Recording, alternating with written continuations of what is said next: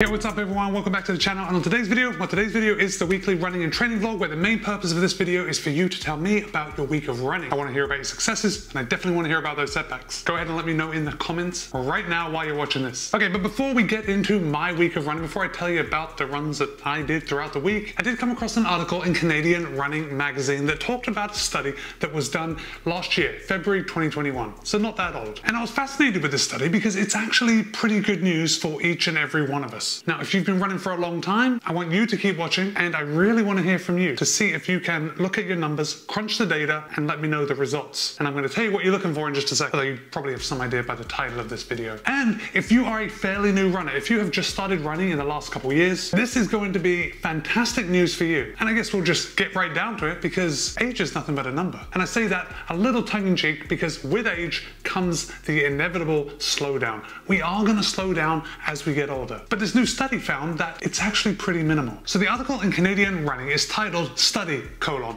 Consistent Training Can Reduce Age-Related Decline in Marathon Performance. And then the subheading really gives it away. A recent study found that with a high level of motivation, runners can slow age-related speed decline down to as little as 5 to 7% per decade. You heard that right, guys. 5 to 7% decline every 10 years. That's pretty impressive. It's pretty impressive what the human body can do. But let's get into it. Let's talk about the study. Oh, and then I have looked back at some of my data and I'm going to share some of that with you. Now, I haven't been running very long, but I have been running for about 14 years. So I do have quite a bit of data to use in my own analysis. So for some of us, we are going to have to suspend our disbelief when we look at the participants that we used in this study and then kind of interpreting those results to fit our own results. Because this study used 40 participants and the criteria that the research researchers wanted the participants to meet was that they wanted to run a sub three hour marathon in five decades. And the researchers came up with a very clever acronym to describe these group of runners that has run a sub three marathon over five decades. And that acronym is 5DS3. Now don't feel bad if you can't figure it out. Just let me know in the comments and I'm sure that someone else will be able to explain 5DS3 and what that actually means. So clearly the low sample size is because it's, it's pretty difficult to run a three hour marathon. It's even more difficult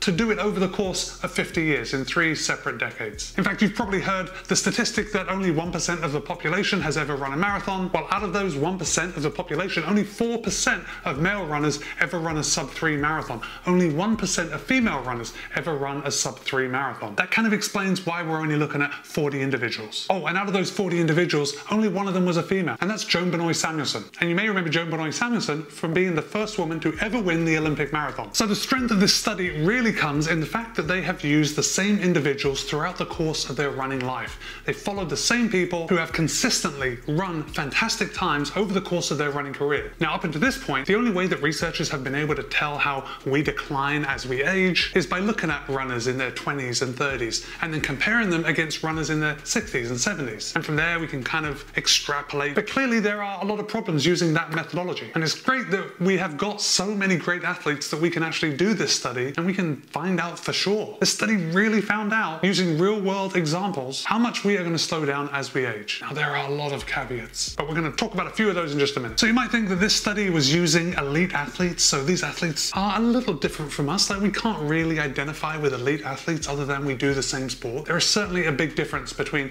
the average runner, like me and maybe you, and elite athletes. But this study actually used a pretty good cross section of runners. In fact, only 11 athletes had run under 2 hours and 20 minutes, and only 3 had run under 2 hours and 15 minutes. Most of the athletes ran their very best time, their career personal bests, between the ages of 25 and 34. And the average age for personal bests was 26.9 years. If you've been running for a while, let me know how old you were when you ran your personal best in the marathon distance. So most of the runners in the study, they ran very similar times up until their 40s. And after their 40s, their speed only declined by about 7% a decade, which comes out to an average of about 1 minute and 4 seconds slower each year. That's pretty fantastic. I would take take a 1 minute and 4 second slowdown each year. And the difference between the runner's best marathon and their slowest marathon or their worst marathon, I think worst marathon is a horrible way to put it, but the difference between those two marathons was only 26 minutes. That's over the course of five decades, plus or minus nine minutes. This is really telling us that if we stick at it, which we really should, running is a lifelong sport, and we don't have to expect our times to drop through the floor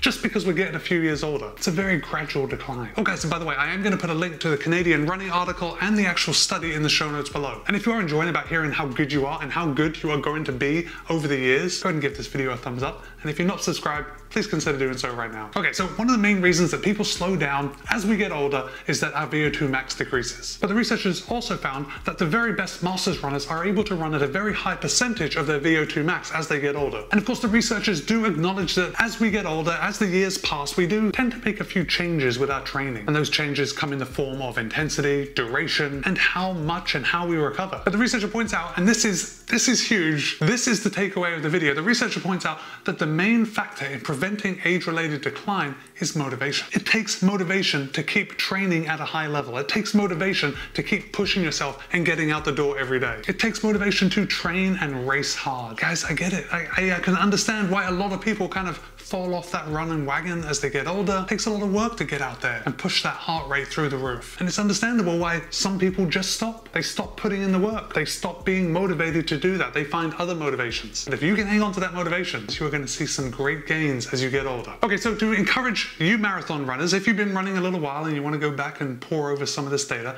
I have compiled some of my own data to share with you. And I do recognize that like all statistics, they can be kind of tweaked to make them fit our agenda. Statistics statistics are a funny thing that way. But on your screen right now, I have a graph, and this is my fastest marathon every year from 2008 all the way to 2022 when this video is being filmed. The observant of you are going to notice that 2011 is missing.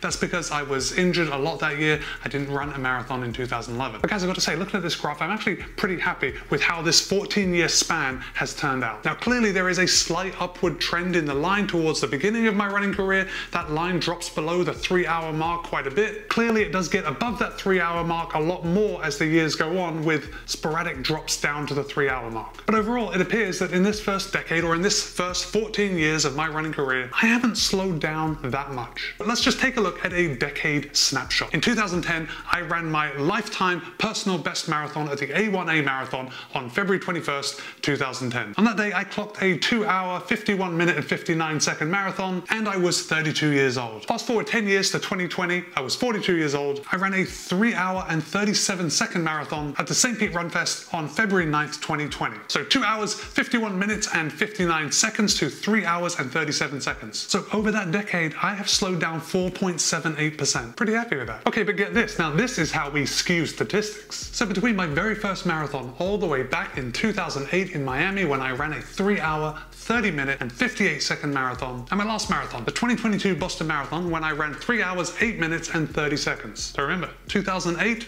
2022, I've actually improved 11.92%. So if we look at statistics that way, back when I was in my prime at 30 years old running my first marathon, I have actually improved over 11% in the last 14 years. That's pretty good. Take that. So guys, what do you think? You excited to keep running over the next 50 years? I guess you have to start pretty early if you want to run for 50 years. But it doesn't matter when you start. The point is, is that you can keep going, probably for longer than you think. All right guys, I had a pretty good week of running this week. It started off with 10 miles, very easy. So I was very hot on Monday, so I was just going out, turning my legs over, breaking a good sweat, but just taking it easy. Because I don't know if you remember from last week, but I did end last week feeling pretty tired. And the difference between ending last week and starting this week was just one day. So that Monday morning run was a bit tiring too. But on Tuesday, even though I started tired, I was able to pull it out of the bag and I knocked out 10.3 miles. But on this run, I warmed up for 2.3 miles, then I did 12 400 meter repeats with 400 meters recovery in between. And then I did a very easy two mile cool down. And those 12 400s were actually, they were actually pretty good. Now at the end, the heart rate was really getting a bit jacked. It was a bit hard to hold on, but I did hold on. And then to reward myself from putting in some work on Tuesday, I took Wednesday off of running. And after taking all that rest on Wednesday, it means that Thursday I had to put in a little extra effort. So I knocked out a total of 8.2 miles. I warmed up for two miles, then I did five miles at a tempo pace. Although to be honest, by the time I got to that last mile, I was running a little fast. I was getting more to that threshold level. And then I cooled down with 1.2 miles. So I felt really good after that run. There is nothing like a tempo run to get you feeling good, even when you're not feeling like it in the beginning. And then